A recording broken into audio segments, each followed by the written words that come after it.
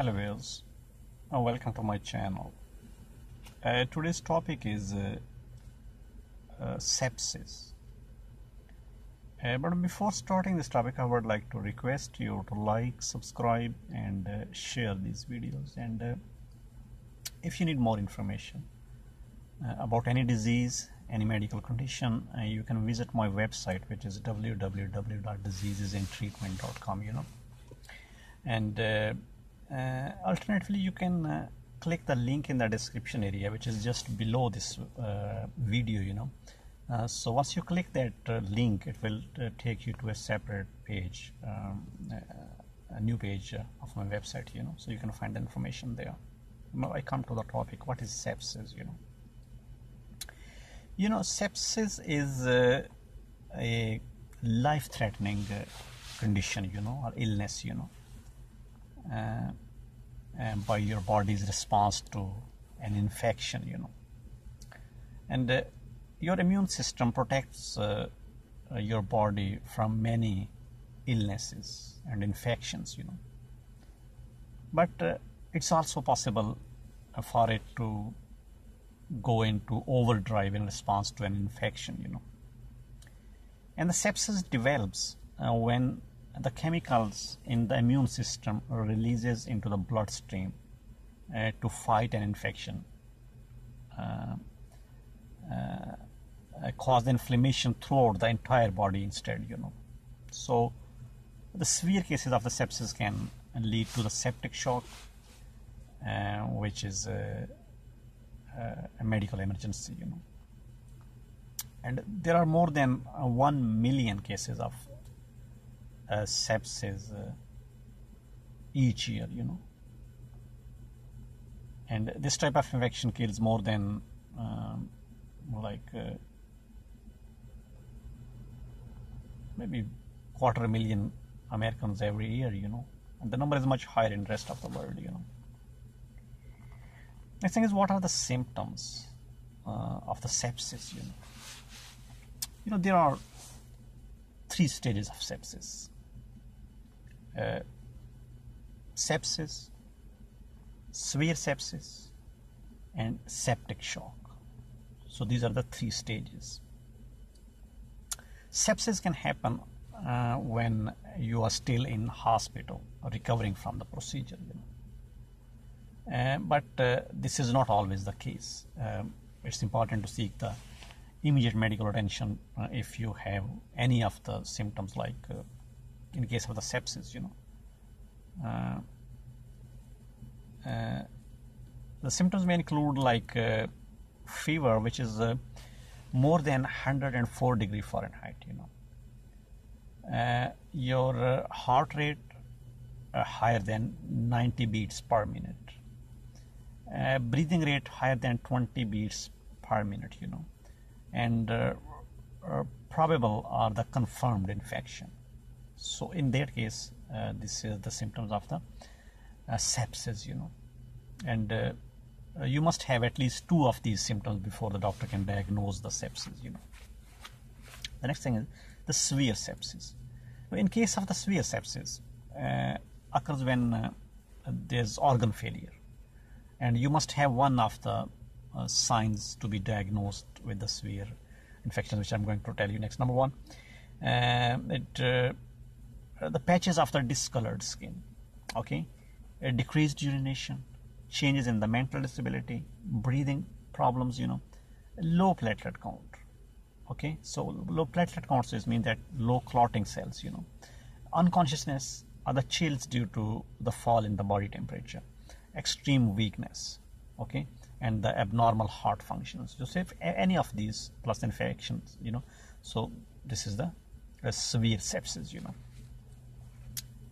uh, now, the next thing is what is a septic shock? What are the symptoms of the septic shock, which is the most serious and life-threatening? You know.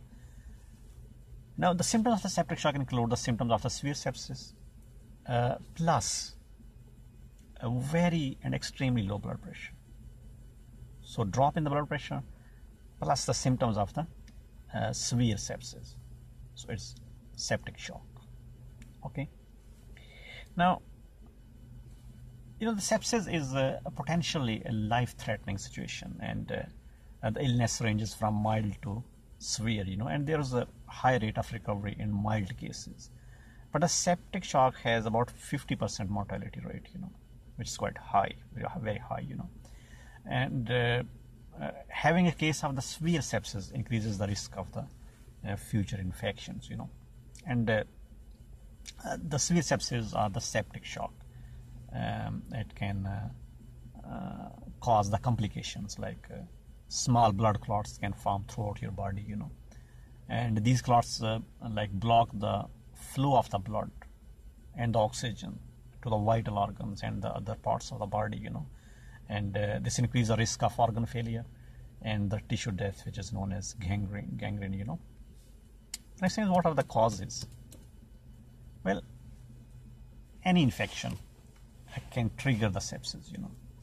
And uh, but there are certain types of infections that are more likely to uh, cause the sepsis, you know, and they may include like the pneumonia, they may include like the kidney infections, even bloodstream infections, you know, and abdominal infections. So these are the most common uh, kind of infections which can cause the sepsis, you know, they can trigger the sepsis, you know. And uh, uh, the number of sepsis uh, uh, cases worldwide increase every year, you know, and in fact, uh, uh, you know, the sepsis co- uh, causes more uh, deaths than the prostate cancer, breast cancer, and the AIDS combined together, you know. So this is a big killer, you know, and the possible reasons for the increase may include like the uh, aging population because uh, the sepsis is more common in the senior citizens, you know, and increase in the antibiotic resistance and increase in the number of people with the illnesses uh, that weaken the immune system, you know.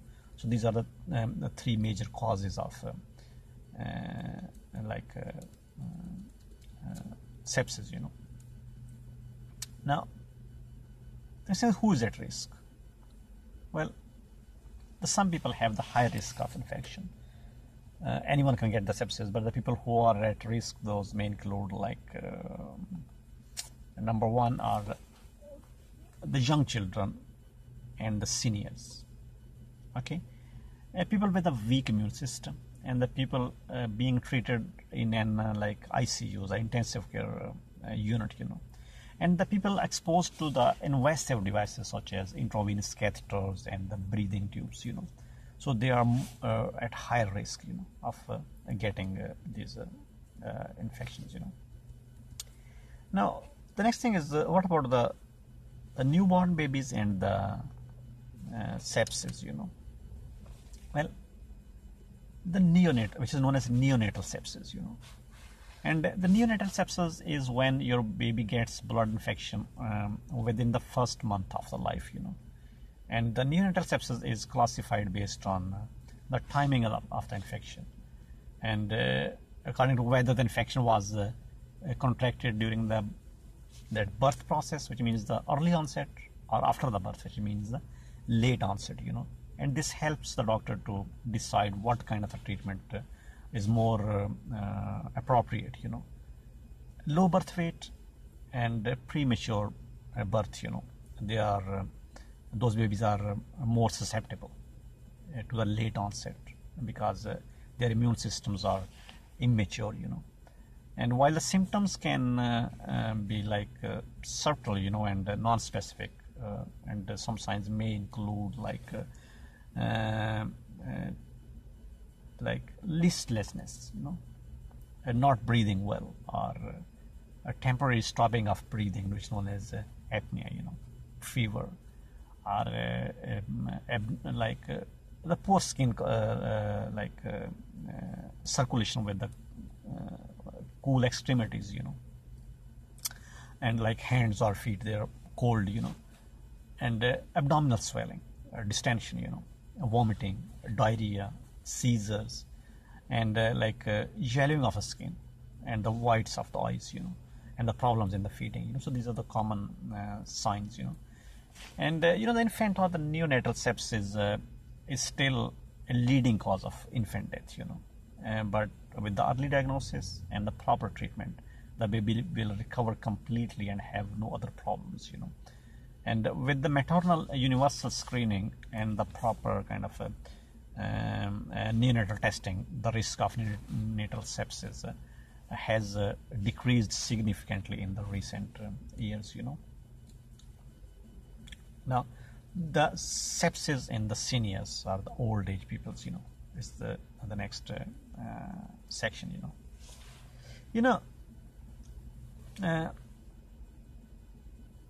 you know, our uh, immune system uh, weaks with the age, you know, and the seniors can be at higher risk of sepsis, and the people over the age of 65, uh, uh, there were the percentage of the sepsis was 70% of the patients were over the age of 65, you know. Uh, in uh, there was the statistics of uh, 2006 or 7 I think and uh, the chronic illnesses such as diabetes or the kidney diseases or the cancer high blood pressure high cholesterol hiv aids so they are commonly found in those who have the sepsis you know. And the most common types of infections to cause uh, the sepsis uh, include like pneumonia and uh, genitourinary uh, like urinary tract infections you know. And other infections uh, uh, can come with the infected skin due to like pressure sores or skin tearing. So these are the other common um, like infections you know which can cause the sepsis you know in the senior citizens it's not contagious uh, but the pathogens that cause the original infection can lead to sepsis, uh, can be contagious, you know. And the sepsis spread uh, within a person's body from the original source of infection to the other organs uh, through the bloodstream, you know. Uh, if you have the symptoms,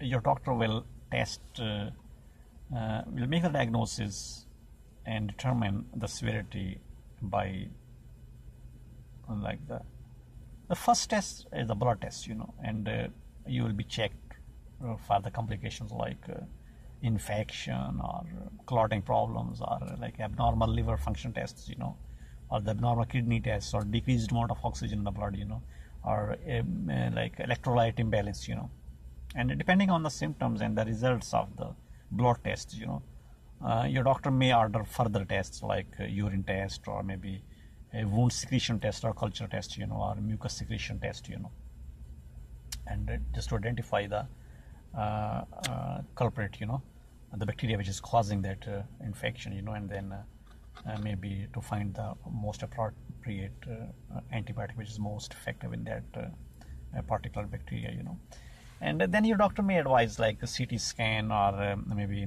uh, like uh, X-rays and ultrasounds, you know, uh, to view the infection in the gallbladder or the ovaries, and the MRI can identify the soft tissue infections as well, you know. So X-rays, CT scans, and MRI are the imaging tests which are helpful to find the right um, of infection, you know. Now, there are two tools uh, doctors use to determine the severity of the condition, you know. And one is uh, like systemic inflammatory response syndrome, you know, SIRS, and uh, is defined when you meet two or more of the uh, symptoms like uh, fever more than 100 uh, or less than 36, you know. The heart rate more than 90 beats per minute, and the respiratory rate more than 20 beats per minute okay. Uh, or the or like arterial carbon dioxide tension uh, which is known as PACO you know 2 less than 32 mmHg you know and uh, abnormal white blood cell count you know. And uh, another tool is uh, like uh, a quick sequential organ failure assessment. So it uses the results of the three criteria. Number one is like low blood pressure reading number two is the high respiratory rate which is greater than 22 beats per minute you know and the uh, glasgow coma scale score less than uh, 15 so you know the glasgow uh, coma scale is uh, uh, which is used to uh, determine like the level of your consciousness, you know. And if that is positive, you know, if these tests are, of, of criteria are positive, it's determined if two or more of the above measurement uh, that I told are abnormal, you know. And the, some physicians prefer using um, the second, uh, like uh, the quick uh, sequential organ failure assessment, you know, because uh, it does not require the lab tests, you know, and the results of the either of these will help to like to determine the care, you know. Uh, now, next thing is uh, treatment. You know, uh, sepsis can uh, quickly progress to septic shock. So, and death. You know, if it's left untreated. So, it's very important uh, the doctors use the number of medications to treat the sepsis, including like uh, antibiotics via the intravenous, you know, to fight the infection. Number two, the vasoactive medications to increase the blood pressure, you know, and the insulin to stabilize the blood sugar, corticosteroids to reduce inflammation, and the painkillers. So these are the uh, emergency measurements which are taken by the doctors. And the severe sepsis um, may also require large amounts of IV fluids and uh, maybe respirator for the breathing may be required, you know, and the dialysis may be necessary if the kidneys are affected or uh, they fail, you know, and uh, uh, to clean the blood, you know. And, uh, you know, in some cases, the surgery may be needed uh, where you need to remove the source of infection, like uh, um, uh, draining of uh, pus-filled abscesses and removing the infected tissues, you know, in case of gangrene, etc., you know. your recovery from the sepsis depends on the severity of your condition and any pre-existing conditions which might have, you know. And many people who survive will recover completely. Uh, but others uh, will report like uh, uh long lasting effects, you know. And uh, uh, it can take up to 18 months before the survivors like start to feel like their normal lives, you know. And the Sepsis Alliance says that around 50% of the sepsis survivors will uh, deal with the post-sepsis syndrome, which is known as PSS. You know, and uh, this condition includes the long-term effects like uh, uh damaged organs, uh, insomnia, nightmares, um, lowered self-esteem, low confidence. You know, and uh, lowered cognitive functioning and poor concentration. You know. And severe cases after sepsis can lead to death. And uh, uh, it's been estimated that between 28 and the 58 percent of the uh, these people die who suffer from the severe or the septic shock. You know, uh, there are certain ways that uh, you can prevent the spread of infection, and you can reduce the risk of uh, like developing the sepsis, and they may include like staying up to date on your vaccine you know uh, protecting good uh, uh your uh, i mean good hygiene you know so you can say. That and getting immediate care if you develop the sepsis uh, so don't delay. Time matters you know. Uh, now, outlook, it's important to remember that sepsis is a medical emergency, you know, and every minute and every hour counts, you know. The earlier the treatment starts, the better the prognosis. And once it develops to the severe sepsis or the septic shock, then the uh, outlook, the prognosis uh, chances they drop, you know. And uh, if uh, uh, severe sepsis or the uh, septic shock develops at that stage with the proper treatment, the survival rate is about 50 percent. Uh, thank you very much for watching this video. If you need more information about any disease, any medical condition, you can visit my website which is www.diseasesandtreatment.com and please do not forget to subscribe this channel for more information every day. Thank you and goodbye.